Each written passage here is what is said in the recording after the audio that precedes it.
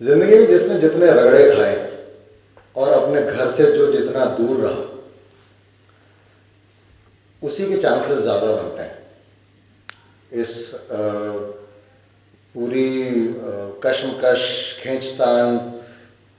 गला काट होते हुए था और दुनिया भर के जितने भी शब्द हैं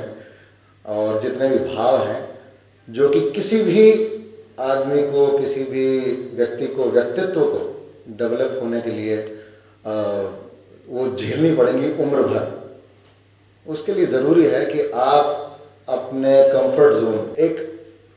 व्यक्तित्व के डेवलपमेंट के लिए मुझे लगता है कि आप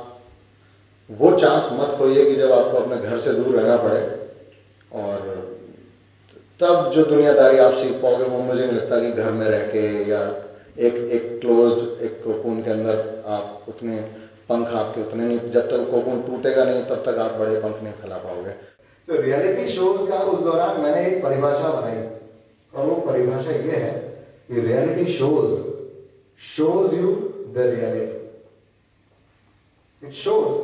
कि भैया ऐसा है कि वो जो रातों रात स्टार और ये, वो वो सारे सपने रातों रात नहीं होते। वो रात आने के लिए आपको कितनी रातें काली करनी होंगी, कितने दिन गायब हो जाएँगे पता नहीं लगेगा।